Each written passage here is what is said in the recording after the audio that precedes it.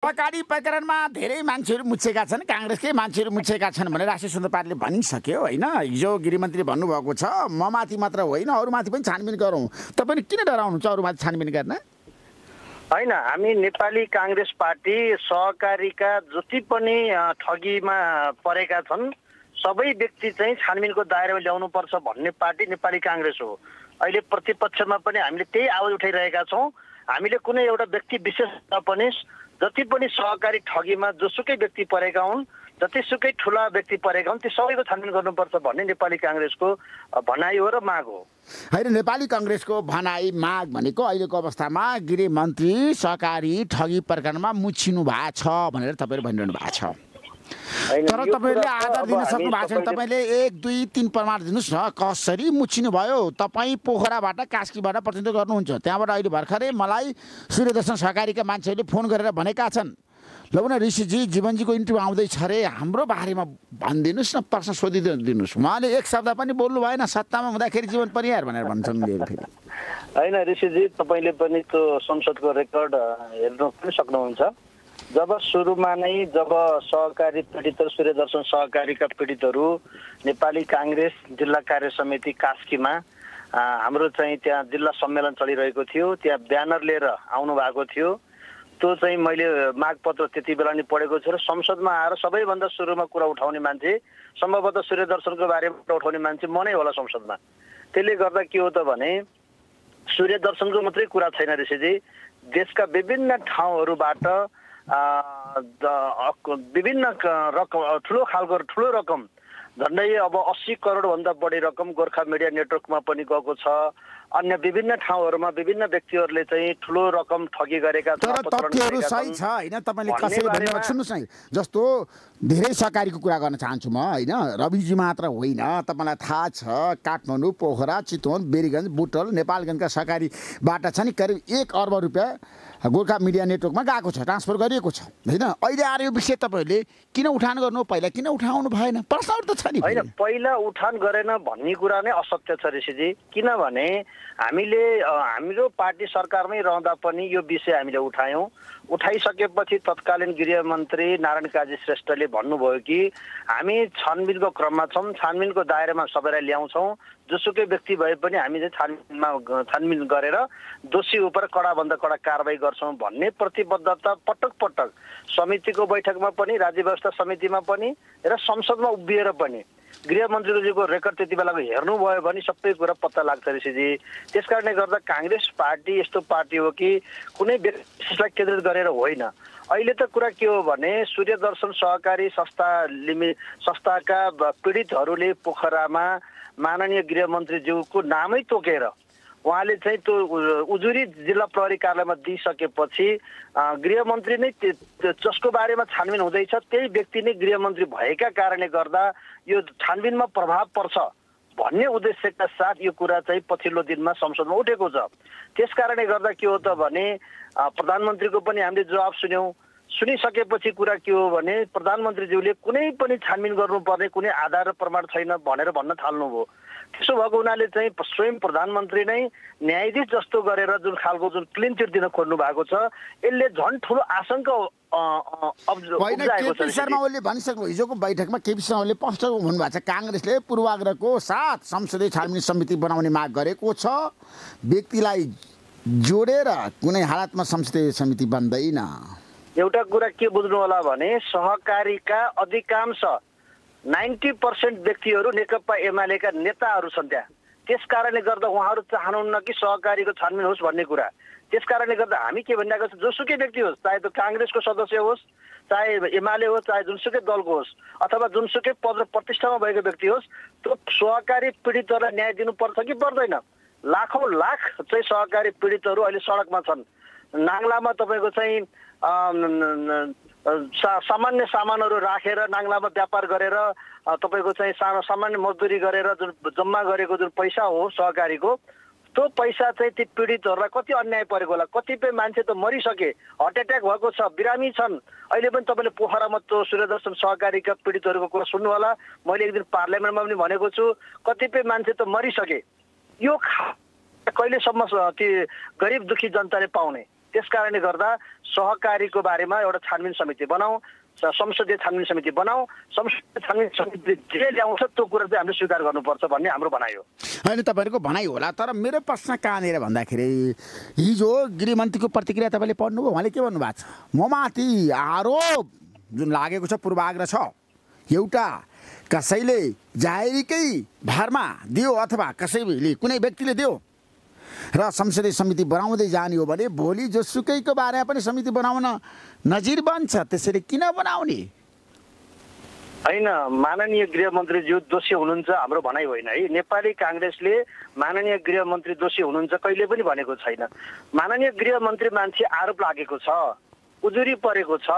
त्यस कारणले गर्दा गृह मन्त्रालय जुन जुन निकाय एउटा छानबिनको उच्चतम निकाय भनेर भनिन्छ त्यस कारण त्यो निकायबाट तपाईँको चाहिँ छानबिन गर्दाखेरि चाहिँ सत्य र निष्पक्ष हुन सक्दैन। आफ्नै मातहतका प्रहरीले चाहिँ राम्रो अनुसन्धान गर्न सक्दैनन् त्यस कारणले गर्दा संसदीय छानबिन समिति आवश्यक छ भन्ने हाम्रो भनाइ हो।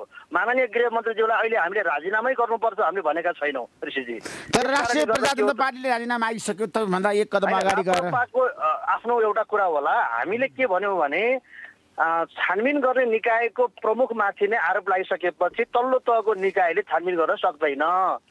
त्यस कारणले गर्दा एउटा कुरा के चाहिँ हामीले मान्नुपर्छ भने ऋषिजी जुन निकायमा छानबिन गरिन्छ त्यही निकायको प्रमुख रूप- को रूपमा चाहिँ एउटा कुनै राजनीतिक व्यक्ति अथवा कुनै अर्को एउटा कुनै व्यक्ति हुन्छ भने त्यहाँ निष्पक्ष छानबिन हुन्छ भनेर अनुमान गर्न सकिँदैन ऋषिजी त्यस कारणले हामीले के भन्यौँ भने गृहमन्त्रीज्यूको राजीनामा हामीले भनेका छैनौँ। त्यस कारणले गर्दा गृह मन्त्रालय अ, कै एकजना पदाधिकारीका बारेमा आरोप लागेको हुनाले एउटा स्वतन्त्र निष्पक्ष रूपमा जुन पार्लियामेन्ट भनेको हामी सबैको जनताको थलो हो त्यस कारणले गर्दा हामीले पार्लियामेन्टबाट नै समिति बनाएर जाँदा नै स्वयं गृहमन्त्रीजीलाई पनि यसले चाहिँ राम्रो गर्ला भन्ने हाम्रो उद्देश्यका साथ हामीले पवित्र छानबिन समिति। बनाउन चाहनुहुन्छ गृहमन्त्रीलाई क्लिन चिट दिनको लागि? होइन होइन त्यसो भनेको होइन स्वतन्त्र र निष्पक्ष छानबिनका लागि हामीले चाहिँ त्यो पार्लियामेन्ट्री कमिटीमा आएको तर त्यसो पनि काङ्ग्रेस स्वार्थ होला नि त। होइन काङ्ग्रेसको कुनै स्वार्थ छैन ऋषिजी। यो बारेमा एउटा कुरा के हुनु पर्यो भने कुनै पनि व्यक्तिमाथि आरोप लागिसकेपछि त्यसका बारेमा चाहिँ यत्र लाखौँ लाख जनता पीडित भइसकेपछि ती पीडित जनताको लागि पनि ती हामीले चाहिँ यो छानबिन समिति जरुरी परिसक्यो ऋषिजी होइन अब तपाईँले जसरी मुद्दा उठान के छ तपाईँले बोल्न दिनु पर्दैन गृहमन्त्रीलाई रोस्टरमा उभिएर उहाँले बोल्छु भन्दाखेरि किन रोक्नुभयो? त्यही हो नैतिकता त्यही हो इमान्दारिता त्यही हो प्रजातन्त्र त्यही हो अभियुक्त स्वतन्त्रमाथि तपाईँको। होइन तपाईँको यो प्रश्नपछि म आउँछ। ऋषिजी कुरा के हो भने कतै हामीलाई आशंका के छ भने रवि लामी छानेमाथि आरोप लागेको छ।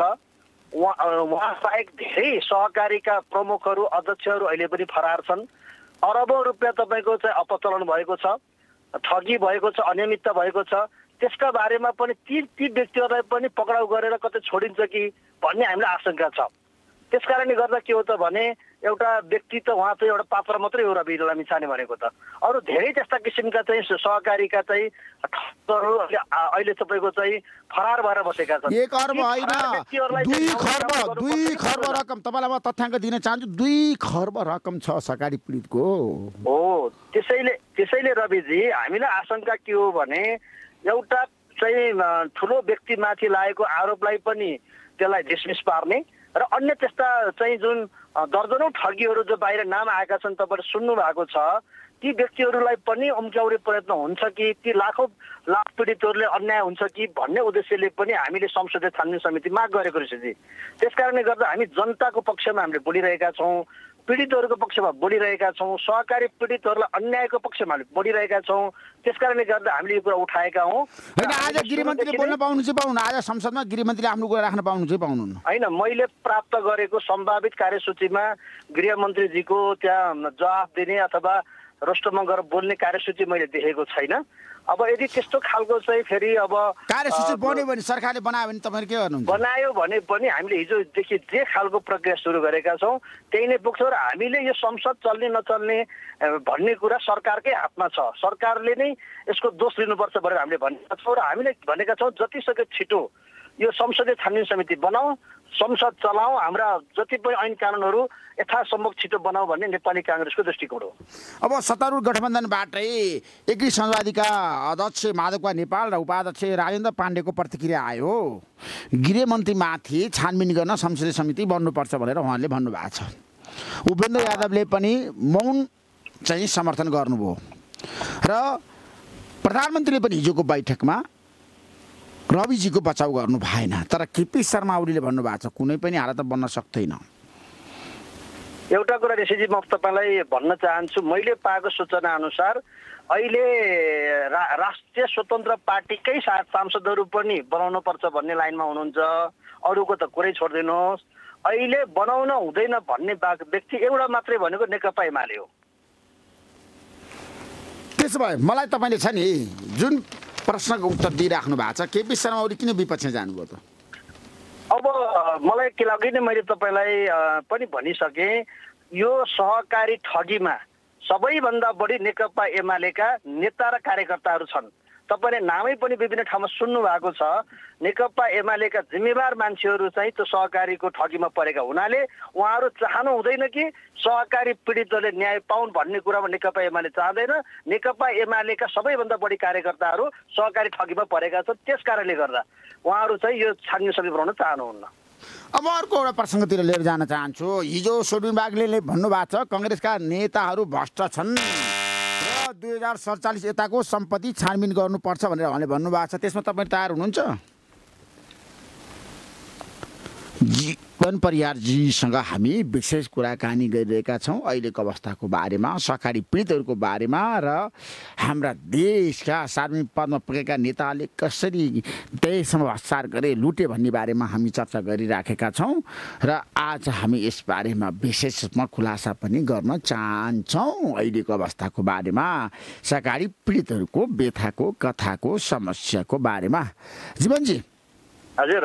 राष्ट्रिय स्वतन्त्र पार्टीकै वरिष्ठ नेता उपाध्यक्ष सोनु बाग्लीको भनाइ के छ भन्दाखेरि दुई हजार सत्तरी नेताको सम्पत्ति छानबिन गरौँ काङ्ग्रेसका धेरै नेताहरूलाई जेलमा हालौँ भन्नुभएको छ उहाँले। तपाईँ के गर्नुहुन्छ?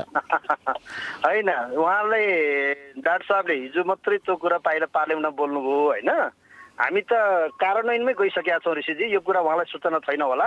मैले त्यस कारणले गर्दा हिजो उहाँले बोल्ने बित्तिकै मैले यो सूचना बाहिर सार्वजनिक गरेको हुँ। यो दुई हजार अस्सी साल चैत तेइस गते हिजो सत्ताइस गते उहाँले बोल्नुभयो हामीले तेइस गते नेपाली काङ्ग्रेसको उपसभापति माननीय धनराज गुरुङ प्रस्तावक माननीय बद्री पाण्डे र म समर्थक भएर हामीले चाहिँ एउटा छानबिन समिति गठन गर्नुपर्छ न्यायिक छानबिन समिति भनेर हामीले संसदमा हामीले यो जरुरी सार्वजनिक महत्त्वको प्रस्तावै दर्ता गरिसकेका छौँ ऋषिजी। अब यो प्रस्ताव चाहिँ पार्लियामेन्टमा ल्याएर छलफल गरेर हामीले चाहिँ सरकारलाई निर्देशन गरौँ।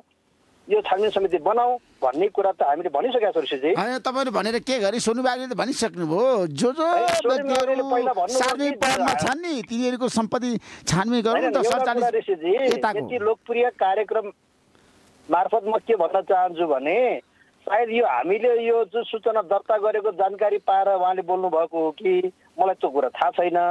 तर हामीले त यो छानबिन समिति बनाउनु पर्छ भनेर संसदको जरुरी सार्वजनिक महत्त्वको प्रस्तावै दर्ता गरिसक्यो ऋषिजी नेपाली काङ्ग्रेसले त यो बोल्दै आएको छ यो कुरा। हामीलाई के आपत्ति छ? छानबिन गरौँ न। थ्याङ्क यू सो मच जीवनजी समय दिनुभयो नेपाली बसलाई तपाईँलाई म धेरै धेरै धन्यवाद दिन चाहन्छु। Thank you so much